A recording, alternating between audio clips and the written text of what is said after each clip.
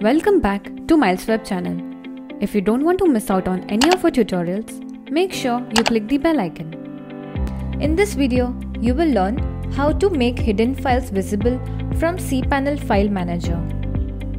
If you want to view the hidden files from cPanel File Manager, you have to enable the option which will display all the hidden files in subdirectories.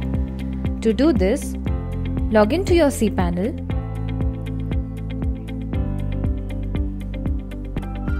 Open File Manager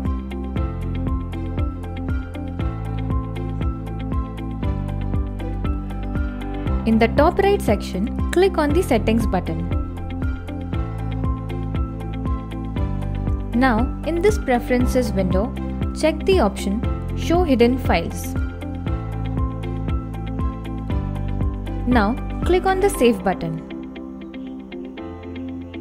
You will now be able to see the hidden files under this directory.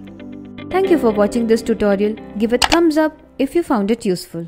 Reach out to us on this email ID for any of your technical queries. If you want us to make video on specific topic, do let us know in the comment section below.